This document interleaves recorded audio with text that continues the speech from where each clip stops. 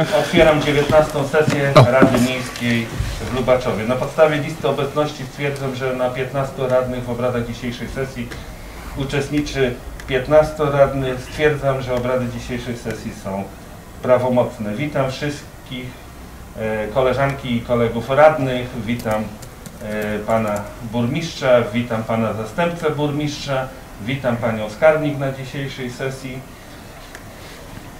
E, Wszyscy radni otrzymali y, zaproszenie na dzisiejszą sesję wraz z porządkiem obrad.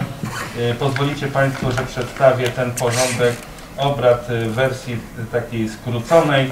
W punkcie pierwszym otwarcie obrad, w punkcie drugim stwierdzenie kworum, w punkcie trzecim przyjęcie porządku obrad, w czwartym przyjęcie protokołu z obrad zwyczajnej sesji z dnia 27 lutego. W punkcie piątym podjęcie uchwał Rady Miejskiej, w punkcie szóstym sprawy różne i punkt siódmy e, zakończenie obrad. E, czy do przedstawionego porządku obrad e, Państwo radni macie jakieś uwagi lub zastrzeżenia? Nie widzę, więc przystępujemy do głosowania. Y, Nie będę czytał alfabetycznie, y, alfabetycznie, bo będzie to, no może nie do końca alfabetycznie, po liście obecności. Y, Pani Fircowicz Marta Mazurek jest za przyjęciem, wstrzymuje się przeciw. Za. Krzysztof Czerniak, Za. Rafał Dudzic, Za. Stanisław Kusek, Za. Roman Łańcucki, Za. Marek Małecki, Za. y, Wojciech Mamczur, Za. Zdzisław Mamczura, Za. Yy, Piotr Pióro, Za. Jan Radłowski, Za. Małgorzata Strycharz, Za. Szałański Adam, Za. Paweł Włoch, Za. Marta Zabrońska Za. i ja jestem też y, za. Czy ktoś jest przeciw, ktoś się wstrzymał, skoro wszyscy za, porządek dzisiejszego, y, dzisiejszych y, obrad został przyjęty. W punkcie następnym y, w biurze Rady wyłożony był protokół z poprzedniej sesji, która się odbyła dwa miesiące temu, z 27 lutego. Do chwili obecnej nikt z Państwa radnych nie wniósł uwag ani zastrzeżeń do tego protokołu. Więc czy w chwili obecnej ktoś z Państwa ma jakieś zastrzeżenia lub uwagi do protokołu z dnia 27 lutego bieżącego roku? Nie widzę. Przystępujemy do głosowania. Pani Marta Fircowicz-Mazurek, Nie widzę. y, Krzysztof Czerniak, Nie widzę. za, czy Za. Za. y, Rafał Dudzic, Za. Stanisław Kusek, Za. Roman Łańcucki, Za. Marek Małecki, Za. y, Wojciech Mamczur, Za. Zdzisław Mamczura, Za. Piotr Pióro, Za. Jan Radłowski, Za. Krystyn, y, Małgorzata Strycharz, Za. Adam Szałański, Za. Paweł Włoch, Za. Marta Zabrońska Za. i ja jestem za. Protokół z poprzedniej rady został y, przyjęty. Na dzisiejszą y, sesję mamy y, bo to następny punkt y, dzisiejszego posiedzenia. Y, punkt piąty. Mamy przygotowanych 15 uchwał, więc przystępujemy do y, punktu podjęcie uchwał. W punkcie pierwszym pierwszy projekt uchwały w sprawie niedochodzenia należności z tytułu rekompensaty, o której mowa w artykule 10 ust. 1 punkt 1 ustawy z dnia 8 marca 2013 roku o przeciwdziałaniu nadmiernym opóźnieniom w transakcji handlowych. Poproszę pana y, przewodniczącego Komisji Budżetowo-Gospodarczej o opinię. Panie Przewodniczący, Wysoka Rado, Panie Nowie Burmistrzowie, e, Komisja Budżetowa Gospodarcza Rady Miejskiej w Lubaczowie na swoim posiedzeniu 27 kwietnia 2020 roku zapoznała się z powyższym projektem uchwał, wysłuchała wyjaśnień i zaopiniowała powyższy projekt pozytywnie. Dziękuję bardzo y, panu przewodniczącemu komisji. Y, Czy ktoś z państwa do tego projektu uchwały ma pytania? Nie widzę. Przystępujemy do głosowania w formule jak do tej pory. Y, Pani Marta Fircowicz-Mazurek, Za. Krzysztof Czerniak, Za. y, Rafał Dudzic, Za. Stanisław Kusek, Za. Roman Łańcucki, Za. Marek Małecki, Za. Wojciech Mamczur, Za. Zdzisław Mamczura, Za. Piotr Pióro, Za. Jan Radłowski, Za. y, Małgorzata Strycharz, Za. Adam Szałański, Za. Y, Paweł Włoch, Za. Marta Zabrońska Za. i ja też jestem za. Stwierdzam, że uchwała została przyjęta. Y, Drugi projekt uchwały w sprawie wyrażenia zgody na wydzierżawienie w trybie bezprzetargowym nieruchomości stanowiących własność gminy miejskiej w Lubaczowie. Y, Proszę pana przewodniczącego Komisji Budżetowo-Gospodarczej o opinię. Komisja również 27 kwietnia 2020 roku zapoznała się z powyższym projektem uchwał, wysłuchała wyjaśnień pana burmistrza, kierownika referatu, zaopiniowała powyższy projekt uchwały pozytywnie z uwzględnieniem autopoprawki, to znaczy usunięcie w paragrafie pierwszy- pierwszym y, ustępu 4 i 5. Czyli punkty y, Czwarty i piąty zostały wycofane. Też nie powinien wycofać. No, no niekoniecznie, ale komisja sprawa no też.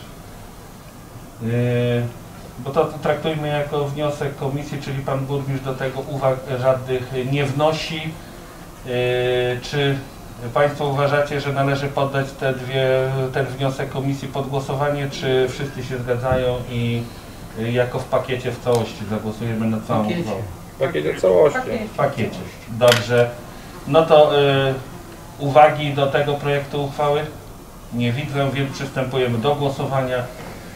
Pani y, Marta Fircowicz-Mazurek, Za. pan Krzysztof Czerniak, Za. y, Rafał Dudzic, Za. Stanisław Kusek, Roman Łańcucki, Za. Marek Małecki, Za. y, Wojciech Mamczur, Za. Zdzisław Mamczura, Za. y, Piotr Pióro, Za. Radłowski Jan, Za. y, Strycharz Małgorzata, Za. Szałański Adam, Za. Paweł Włoch, Za. Marta Zabrońska. Za. Też jestem za. Stwierdzam, że 15 radnych głosowało za przyjęciem tej uchwały. Yy, Trzeci projekt uchwały w sprawie wprowadzenia zmian w budżecie na 2020 rok. Yy, Pan Przewodniczący Komisji Budżetowo-Gospodarczej, proszę o opinię. Y, Również tym projektem y, uchwały zajmowała się komisja 27 kwietnia 2020 roku. Wysłuchała wyjaśnień pani skarbnik, pani, pana burmistrza i zaopiniowała powyższy projekt uchwały pozytywnie. Dziękuję bardzo Panu y, Przewodniczącemu. Czy ktoś z Państwa ma jakieś pytania, uwagi do tej u, projektu uchwały? Nie widzę. Przystępujemy do głosowania. Kto jest za przyjęciem tego projektu uchwały? I odczytam. Pani Marta Fircowicz-Mazurek, Za. y, Krzysztof Czerniak, Za. Rafał Dudzic, Za. Stanisław Kusek, Za. Roman Łańcucki, Za. Y, Marek Małecki, Za. Wojciech Mamczur, Za. Zdzisław Mamczura, Za. Piotr Pióro, Za. y, Jan Radłowski, Za. Małgorzata Strycharz, Za. Adam Szałański, Za. Paweł Włoch, Za. y, Marta Zabrońska, Za. Hadel Marek za. Stwierdzam, że uchwała została przyjęta. Y, Czwarty projekt uchwały w sprawie wprowadzenia zmian w budżecie miasta na 2020 rok. Pan Jan Radłowski, proszę o opinię. Komisja również zajmowała się powyższym projektem uchwały 27 kwietnia 2020 roku. E, Wysłuchała wyjaśnień na zapytania pani skarbnik, pana burmistrza i zaopiniowała powyższy projekt uchwały pozytywnie. Dziękuję bardzo. Czy ktoś ma pytania do tego projektu uchwały? Nie widzę. Przystępujemy do głosowania. Kto jest za przyjęciem tego projektu uchwały? Pani Marta e, Fircowicz-Mazurek, Za. Krzysztof Czerniak, Za. Rafał Dudzic, Za. Stanisław Kusek, Za. Roman Łańcucki, Marek Małecki, Za. Wojciech Mamczur, Za. Zdzisław Mamczura, Za. e, Piotr Pióro, Za. Jan Radłowski, Za. Małgorzata Strycharz, Za. E, Adam Szałański, Za. Paweł Włoch, Za. Marta Zabrońska, Za. Marek Hadel za. Stwierdzam, że uchwała została przyjęta. Y, Piąty projekt, y, piąty projekt uchwały został wycofany przez pana burmistrza. Do szóstego projektu uchwały są dwie autopoprawki. To poproszę pana Jana Radłowskiego o opinię. Y, Komisja również zajmowała się tym, tym projektem uchwały oraz autopoprawkami do y, wyżej wymienionego projektu uchwały. Zapoznała się z nim, wysłuchała wyjaśnień pani skarbnik, pana burmistrza i zaopiniowała powyższy projekt uchwały pozytywnie. Dziękuję bardzo. Czy ktoś z Państwa radnych ma pytania? Nie widzę. Przystępujemy do głosowania. Kto jest za przyjęciem tego projektu uchwały? Y, Pani Marta Swiercowicz-Mazurek, Za. y, Krzysztof Czerniak, Za. Rafał Dudzic, Za. Stanisław Kusek, Roman Łańcucki, Za. y, Marek Małecki, Za. Wojciech Mamczur, Za. Zdzisław Mamczura, Za. Piotr Pióro, Za. Jan Radłowski, Za. Małgorzata Strycharz, Za. Szałański Adam, Za. Paweł Włoch, Za. Zabrońska Marta Za.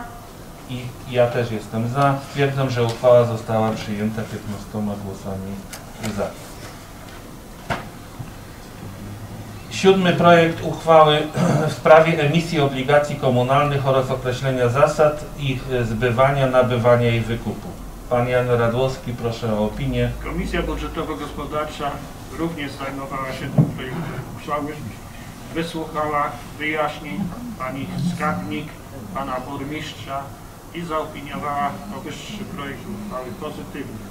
Dziękuję bardzo. Pytam się Państwa, Pani i Panów Radnych, czy ktoś z Państwa ma pytania, uwagi do tego projektu uchwały? Y, Nie widzę. Y, Skoro nie ma, to przystępujemy do głosowania. Kto jest za przyjęciem tego projektu uchwały? Bardzo proszę Panie i Panów Radnych. Pani y, Marta Fircowicz-Mazurek, Za. Krzysztof Czerniak, Za. Rafał Dudzic, Za. Stanisław Kusek, Roman Łańcucki, Za. Marek Małecki, Za. Wojciech Mamczur, Za. Zdzisław Mamczura, Za. Piotr Pióro, Za. Jan Radłowski, Za. y, Małgorzata Strycharz, Za. Szałański Adam, Za. Paweł Włoch, Za. Y, Marta Zabrońska. Za. Ja też jestem za. Stwierdzam, że uchwała 15 głosami została przyjęta. Ósmy projekt uchwały w sprawie rozpatrzenia petycji złożonej przez mieszkańca gminy Lubaczów. E, I mm, Rada Miejska, czy pan przewodniczący Komisji Skargi i Wniosków coś tu rzuci słowem komentarza, czy mam przeczytać projekt uchwały? Przeczytać projekt uchwały. Dobrze, Rada Miejska w Lubaczowie uchwala co następuje. W paragrafie pierwszym, punkt pierwszy po rozpatrzeniu petycji z dnia 20 lutego 2020 roku w sprawie wyjaśnienia sprzedaży działki numer y, 2657 przez 13 położonej w Lubaczowie przy ulicy Piłsudskiego w trybie bezprzetargowym na polepszenie warunków zagospodarowania nieruchomości przyległej odmawia się jej uwzględnienia. Punkcie drugim Uzasadnienie sposobu rozpatrzenia petycji stanowi załącznik do niniejszej uchwały. W paragraf drugi upo, upoważnia się przewodniczącego Rady Miejskiej w Lubaczowie do zawiadomienia wnoszącego petycję o sposobie jej załatwienia i w paragrafie trzecim uchwała wchodzi w życie z dniem y, podjęcia. Y, Wszystkie materiały Państwo na tabletach y, mieli udostępnione, mogli się z uzasadnieniem zapoznać tego tematu, więc y, pytam się teraz, czy są jakieś pytania lub uwagi do tego po analizie tego materiału, który został Państwu dostarczony. Nie widzę. Przystępujemy do głosowania. Panie i Panowie radni Marta Mazu- y, Fircowicz-Mazurek, Za. Krzysztof Czerniak, Za. y, Rafał Dudzic, Za. Stanisław Kusek, Za. Roman Łańcucki, Za. Marek Małecki, Za. Wojciech Mamczur, Za. Zdzisław Mamczura, Za. y, Piotr Pióro, Za. Jan Radłowski, Za. Strycharz Małgorzata, Za. Adam Szałański, Za. y, Paweł Włoch, Za. Marta Zabrońska, Za.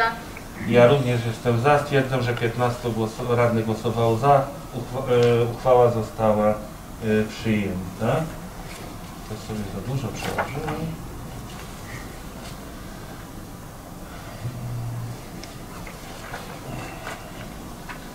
Następny projekt uchwały w sprawie e, rozpatrzenia wniosku mieszkanki gminy miejskiej e, Lubaczów. I tu również pozwolicie Państwo, że przeczytam ten projekt uchwały. Rada Miejska w Lubaczowie uchwala co następuje. W paragrafie pierwszym uznaje, uznaje za bezzasadny wniosek z dnia 17 lo- lutego 2020 roku złożony przez mieszkankę gminy miejskiej Lubaczów dotyczący usunięcia przeszkody na cmentarzu komunalnym w Lubaczowie y, utrudniający dostęp do grobu rodzinnego.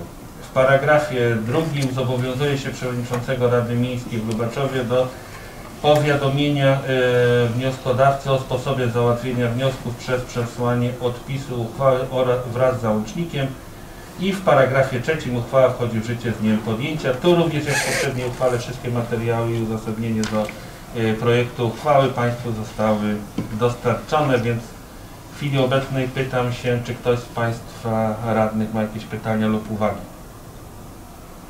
Jeśli nie ma, to przystępujemy do głosowania. Panie i Panowie, Marta Fircowicz-Mazurek, Za. y, Krzysztof Czerniak, Za. Rafał Dudzic, Za. Stanisław Kusek, Za. Roman Łańcucki, Za. y, Marek Małecki, Za. Wojciech Mamczur, Za. Zdzisław Mamczura, Za. y, Piotr y, Pióro, Za. Jan Radłowski, Za.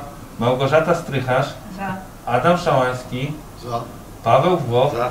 Marta Zabrońska Za. i ja jestem za. Stwierdzam, że uchwała została przyjęta.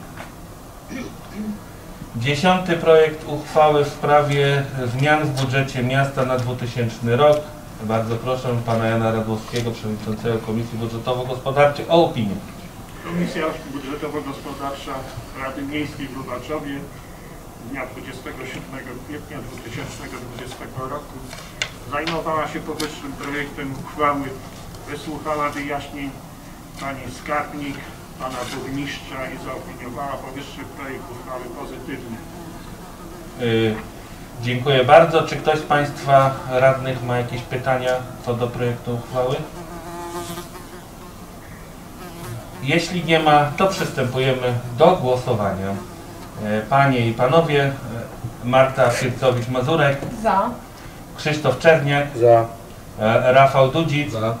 Stanisław Kusek, Roman Łańcucki, Za. Marek Małecki, Za. Wojciech Mamczur, Za. Zdzisław Mamczura, Za. e, Piotr Pióro, Za. Jan Radłowski, Za. Małgorzata Strycharz, Za. Adam Szałański, Za. Paweł Włoch, Za. Marta Zabrońska Za. i ja też jestem za. Stwierdzam, że uchwała została przyjęta. Następny projekt uchwały w sprawie wprowadzenia zmian w budżecie na 2020 rok. Również pan Jan Radłowski, przewodniczący Komisji Budżetowo-Gospodarczej o opinię proszę. Tutaj też Komisja Budżetowo-Gospodarcza Rady Miejskiej zajmowała się tym projektem uchwały, zapoznała się z nim, wysłuchała wyjaśnień pani skarbnik, pana burmistrza i zaopiniowała pozytywnie. Dziękuję bardzo panu przewodniczącemu. Czy ktoś z państwa obecnych na sali radnych ma jakieś pytania lub wątpliwości? Nie widzę. Przystępujemy do głosowania. Panie i panowie, Marta Fircowicz-Mazurek, Za. Krzysztof Czerniak, Za. Rafał Dudzic, Za. Stanisław Kusek, Za. e, Roman Łańcucki, Za. e, Marek Małecki, Za. Wojciech Mamczur, Za. Zdzisław Mamczura, Za. Piotr Pióro, Za. Jan Radłowski, Za. e, Małgorzata Strycharz, Za. Adam Szałański, Za. Y, Paweł Włoch, Za. y, Marta Zabrońska. Za. Ja również jestem za. Stwierdzam, że uchwała została y, przyjęta.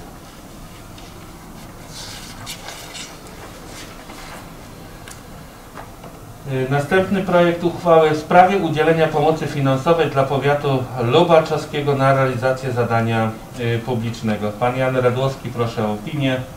Komisja również zajmowała się tym projektem uchwały, wysłuchała wyjaśnień pana burmistrza, pani skarbnik i zaopiniowała powyższy projekt uchwały pozytywnie. Dziękuję bardzo. Czy ktoś y, pytania ma, wątpliwości co do tego projektu uchwały? Jeśli nie ma, to przystępujemy do głosowania. Kto jest za przyjęciem tego projektu uchwały? Panie i Panowie. Marta e, Fircowicz-Mazurek, Za. Krzysztof Czerniak, Za. Rafał Dudzic, Za. Stanisław Kusek, Za. Roman Łańcucki, Za. Marek Małecki, Za. Wojciech Mamczur, Za. Zdzisław Mamczura, Za. Piotr Pióro, Za. Jan Radłowski, Za. Małgorzata Strycharz, Za. y, Adam Szałański, Za. Paweł Włoch, Za. Marta Zabrońska. Za. Ja również jestem za. Stwierdzam, że uchwała została przyjęta. Następny projekt uchwały sp- y, w sprawie wprowadzenia zmian w budżecie na 2020 rok. Y, Bardzo proszę pana Jana Radłowskiego o opinię. Komisja również zajmowała się powyższym projektem uchwały, wysłuchała wyjaśnień pani skarbnik i pana burmistrza na zadane pytania i zaopiniowała powyższy projekt uchwały pozytywnie. Dziękuję bardzo. Czy ktoś z pań, z pań i panów radnych ma pytania do tego projektu uchwały? Nie widzę. Y, przystępujemy do głosowania. Kto jest za przyjęciem tego projektu uchwały? Panie i panowie, Marta Fircowicz-Mazurek, Za. Krzysztof Czerniak, Za. Rafał Dudzic, Za. Stanisław Kusek, Za. Roman Łańcucki, Za. Marek Małecki, Za. Wojciech Mamczur, Za. Zdzisław Mamczura, Za. Piotr Pióro, Za. Jan Radłowski, Za. Małgorzata Strycharz, Za. Adam Szałański, Za. e, Paweł Włoch, Za. e, Marta Zabrońska. Za. Ja również jestem za. Stwierdzam, że uchwała została przyjęta. Następny projekt uchwały e, zmieniająca uchwałę w sprawie ustalenia wysokości opłat za pobyt i wyżywienie dziecka w żłobku miejskim w, w Lubaczowie oraz określenia warunków częściowego zwolnienia od ponoszenia opłat. Tutaj tym razem poproszę Panią Małgorzatę Strycharz, Przewodniczącą Komisji Oświaty, Kultury i Sportu. Komisja Oświaty, Kultury i Sportu Rady Miejskiej w Lubaczowie na posiedzeniu w dniu 27 kwietnia 2020 roku zapoznała się z wyżej wymienionym projektem, nie wniosła uwag i zaopiniowała go pozytywnie. Dziękuję bardzo. Ja tylko dopowiem, że ta uchwała jest y, y, jakby pokłosiem prośby y, Rady Rodziców Żłobka Miejskiego, która zwróciła się z prośbą y, do, do pana burmistrza i przewodniczącego Rady. Y, I tu tylko Mm, jeden akapit. W związku z zaistniałą sytuacją w kraju spowodowaną stanem epidemio- epidemiologicznym wywołanym wirusem COVID-19 w imieniu Rady Rodziców zwracam się prośbą o wstrzymanie naliczenia opłat stałych za pobyt i opiekę dziecka w żłobku miejskim. Opłata w kwocie 300 zł naliczana jest na podstawie uchwały, tu jest podany numer, za pobyt i opiekę pielęgnacyjną dziecka E, W zaistniałej sytuacji wszystkie szkoły, przedszkola oraz żłobki zostały zamknięte 13 marca e, mocą roz, rozporządzenia rządu i to dalsze uzasadnienie wraz z podpisami e, rodziców. Czy ktoś z Państwa co do tego, do tej uchwały pytania, uwagi? Pan Dud, proszę bardzo. E, Ja pytanie jeszcze do Pana Burmistrza, bo nie dopytałem na komisji, bo tak wnioskowałem, że będą pytania odnośnie jeszcze rodziców. Jeżeli była przerwa w wycząszczaniu dzieci 11 marca, czy tam 12, czy te opłaty marcowe też będą uwzględnione, czy to zaczynamy od kwietnia, do momentu, kiedy dzieci wrócą do żłobka? Żeby odpowiedzieć po prostu rodzicom na pytanie. Nie, tutaj, y, tutaj mm, będzie uwzględnione wszystko, cały, cały okres nieczynności proporcjonalnie do, e, do niemożliwości działania e, żłobka. Dziękuję. Dziękuję. I rozliczane jakby w przyszłych opłatach, a nie, nie będzie zwrotów. Dziękuję. Dziękuję bardzo panu burmistrzowi. Czy ktoś jakieś jeszcze ma pytania? Jeśli nie ma, to przystępujemy do głosowania. Kto jest za przyjęciem tego projektu uchwały? Panie i Panowie, y, Marta Fircowicz-Mazurek, Za. y, Krzysztof Czerniak, Za. y, Rafał Dudzic, Za. Stanisław Kusek, Za. Roman Łańcucki, Za. Marek Małecki, Za. Wojciech Mamczur, Za. Zdzisław Mamczura, Za. Piotr Pióro, Za. Jan Radłowski, Za. Małgorzata Strycharz, Za. Adam Szałański, Za. y, Paweł Włoch, Za. Marta Zabrońska Za. i ja również za stwierdzam, że uchwała została przyjęta. I 15 projekt uchwały w sprawie wprowadzenia zmian w budżecie miasta na 2020 rok. Y, Bardzo proszę pan Jan Radłowski o opinię. Komisja również zajmowała się tym projektem uchwały. Wysłuchała wyjaśnień pani skarbnik, pana burmistrza na zadane pytania i zaopiniowała powyższy projekt uchwały pozytywnie. Dziękuję bardzo panu przewodniczącemu. Czy ktoś z państwa radnych ma pytania? Jeśli nie ma, to przystępujemy do głosowania. Kto jest za przyjęciem tego projektu uchwały? Panie i panowie, Marta Fircowicz-Mazurek, Za. Krzysztof Czerniak, Za. Rafał Dudzic, Za. Stanisław Kusek, Za. Roman Łańcucki, Za. Marek Małecki, Za. Wojciech Mamczur, Za. Zdzisław Mamczura, Za. Piotr Pióro, Za. Jan Radłowski, Za. Małgorzata Strycharz, Za. y, Adam Szałański, Za. Paweł Włoch, Za. y, Marta Zabrońska. Za. Ja jestem również za. Stwierdzam, że projekt uchwały, uchwała została przyjęta. Wyczerpaliśmy punkt podjęcie uchwał. Y, Następny, szósty punkt to sprawy różne. I pozwolicie Państwo, że y, parę, parę pism, które są. Y, Wojewoda Podkarpacki wszczyna postępowanie, bo to są stare rzeczy, bo przez dwa miesiące nie było sesji, więc są stare rzeczy. I wszczyna postępowanie do uchwały z dnia 30 stycznia 20 y, 2020 roku sprawie określenia górnych stawek opłat za usługi w zakresie odbierania odpadów komunalnych od właścicieli nieruchomości niezamieszkałych oraz opróżniania zbiorników bezodpływowych transportu nieczystości ściekłych w części dotyczącej paragrafu drugiego uchwały z powodu naruszenia artykułu 6 ustęp 4 i ustęp 4a ustawy o utrzymaniu czystości i porządku w gminach. Następne pismo y, wojewody o rozstrzygnięciu nadzorczym, w którym stwierdza y, nieważność właśnie tego y, paragrafu drugiego uchwały. Wszelkie te materiały to Państwu dostarczymy w formie elektronicznej wraz z uzasadnieniem tego. Klub Inteligencji Katolickiej zwrócił się do nas z pismem Walne Zgromadzenie Sprawozdawczo-Wyborcze Klubu Inteligencji Katolickiej w Luba- w Lubaczowie, jakie odbyło się w dniu 8 marca 2020 roku, podjęło uchwałę nr 9 wnioskującą do Rady Miejskiej w Lubaczowie o nadanie nazwy budowanemu rondu na skrzyżowaniu ulic Tadeusza Kościuszki, Juliusza Słowackiego, Henryka Sienkiewicza i Stanisława Wyspiańskiego imienia Jana Pawła II. Jest tu zas- uzasadnienie tego wniosku, jak i również y, y, uchwała, ta przedmiotowa uchwała numer y, 9, to też Państwu prześlemy w formie elektronicznej. Y, Pan y, Mateusz Potoczny, y, Aleje Solidarności w 82 przez 58 y, zwraca się o, z wnioskiem o nadanie nazwy ulic i placów miasta Lubaczowa Franciszka Potocznego yy, i tu jest uzasadnienie dlaczego nazwa takiej ulicy lub placu miałaby się znaleźć. Yy, Też to Państwu przekażemy i yy, Panu Markowi do komisji, żeby w najbliższym czasie jak się coś będzie, a będzie zasługiwało na uwagę, żeby się przychylić.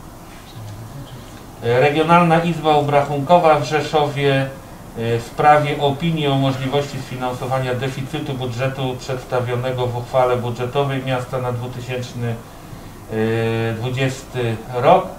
postanawia wydać pozytywną opinię o możliwości sfinansowania deficytu budżetu przedstawionego w uchwale budżetowej miasta Lubaczowa na 2020 rok.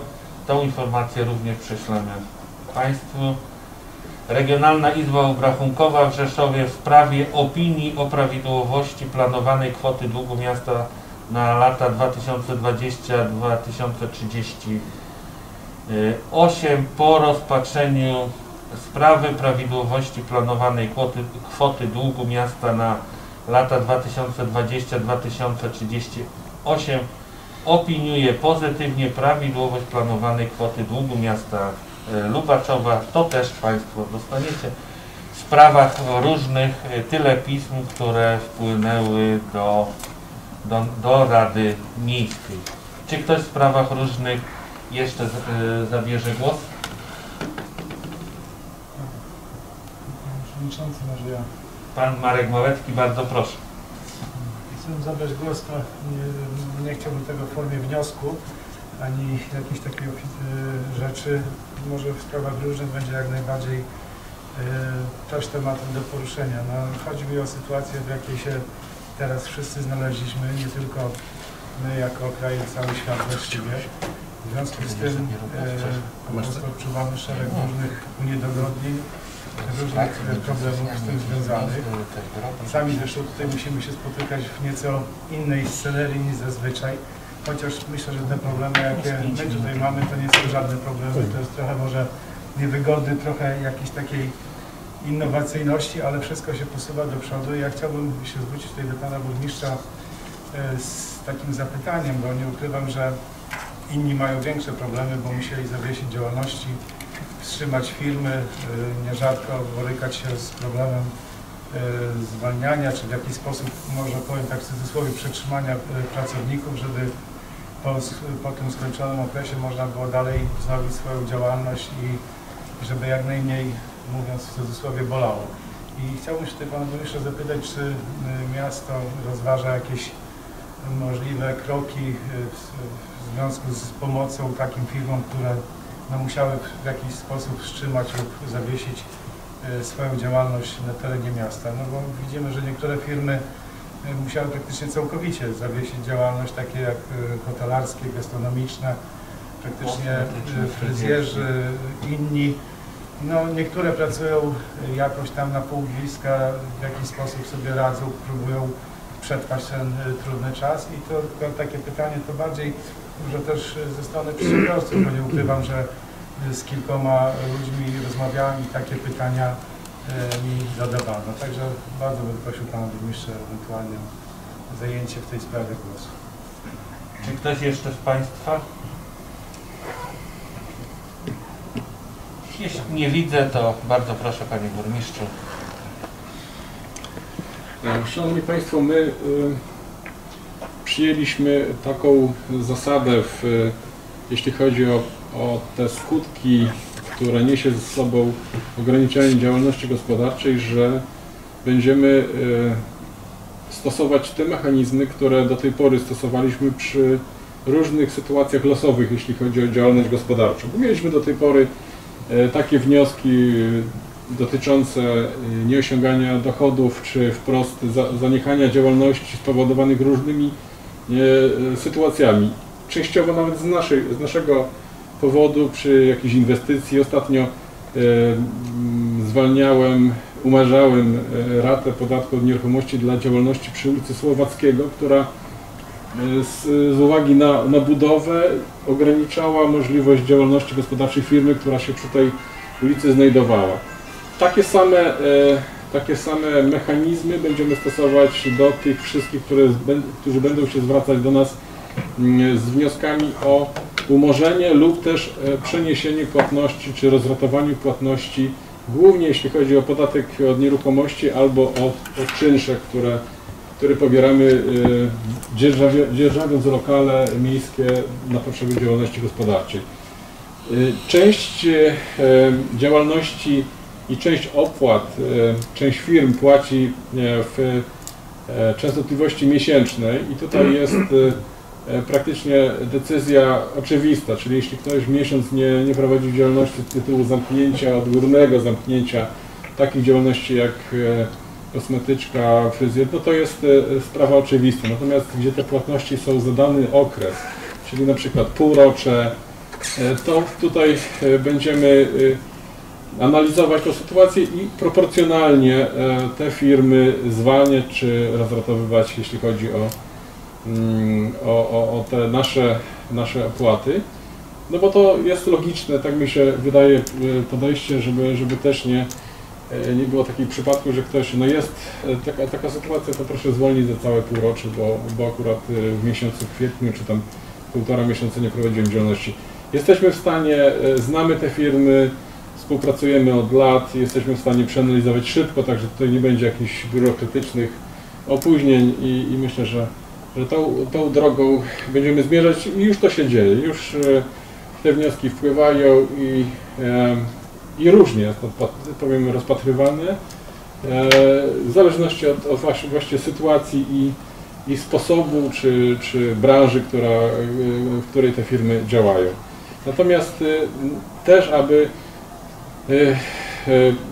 jakby zobrazować Państwu szerzej ten problem działalności gospodarczej na terenie miasta, my staramy się tak pracować w urzędzie, bo e, wiele naszych decyzji, które wydajemy, wiele, wiele naszych e, pism, opinii, pozwoleń e, wpływa na, na to, co się dzieje na rynku gospodarczym, głównie budowlanym, e, instalacyjnym. I tutaj staramy się jak najwięcej tych e, naszych decyzji wydawać, chociaż ustawa też ogranicza nam możliwości procedowania niektórych spraw.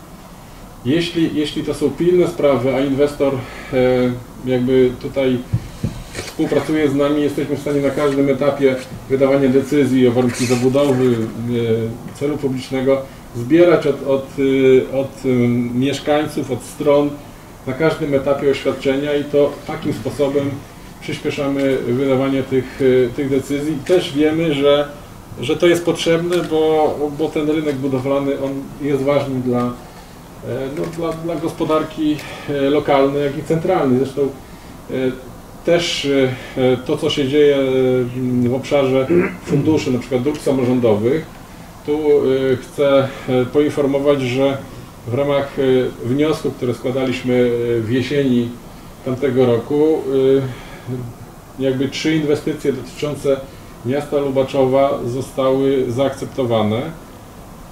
E, W zasadzie dwie, trzecia jest na liście rezerwowej, chodzi o naszą, nasz, naszą inwestycję na osiedlu Mazury na drogach. E, i e, powiatowa, powiatowy wniosek ulica Nowa, Konopnica naszego miasta, ale to też już widać, że przy okazji tych, tych działań, na przykład przy takiej drodze ulicy Konopnickiej, już tam będzie do przebudowania oświetlenie, e, już trzeba, e, trzeba zaplanować poprawę kanalizacji. To wszystko pociąga za sobą e, no jakby uruchomienie działań gospodarczych, co i, głównie no, od lat widzimy, że się odnieść w jakiś sposób. Ja jeszcze będę rozmawiał z dyrektorkami, może do tego, do tego czasu, jeszcze dajemy sobie chwilę czasu, no, za chwileczkę będą, będzie wolne, jakieś komentarze będą, będą przedstawiane, na jakich warunkach, bo tak, takie same warunki powinny dostać e, otwierane e, biznesy, czyli w jakich warunkach mają e, hotele działać, w jakich sklepy, w galeriach, za chwileczkę będą kosmetyczki, fryzjerzy też w jakich warunkach muszą, musi, musimy wszyscy wiedzieć, jakie mamy, jaki mamy reżim sp- spełniać i w przedszkolach i w żłobkach też to będzie określone, ale, ale to, to, to będzie do podjęcia decyzji, jeśli to będzie 6 osób, to, to które osoby? Prawda? E, Jest tam napisane niepracujących, e, pracujących rodziców, no ale bardziej jest prawdopodobne, że jest mało osób niepracujących, którzy mają dzieci, niż, niż, niż odwrotnie, więc więc no, no ciężko na razie się do tego odnieść, e, poczekamy na, na, na szczegóły i będziemy, będziemy się przymierzać do, do dalszych działań. Co do biblioteki, nie rozmawiałem jeszcze z dyrektorką, to też świeża informacja, że można otworzyć. czwartym, z tym, że też to będzie uzależnione od organu. No właśnie. E, Przy bibliotece mam mieszane uczucia co do, e, co do tego, e, co do samej, samej formy działania, bo, bo, bo sama ilość osób da się da się w jakiś sposób e, e, określić czy, czy pilnować e, obecności na, na danej powierzchni, natomiast no, tam jest obrót książkami, tak? To też, e, też jest jakąś kwarantannę trzeba by ewentualnie założyć, ale to już będziemy szczegóły uzgadniać z, z panią dyrektor biblioteki. Dziękuję bardzo panu burmistrzowi. Czy ktoś jeszcze z państwa sprawach różnych? Jeśli nie ma, to dziękuję bardzo wszystkim radnym za przybycie. Na tym zamykam e, zwyczajną sesję Rady Miejskiej w Lubaczowie 19 w obecnej kadencji.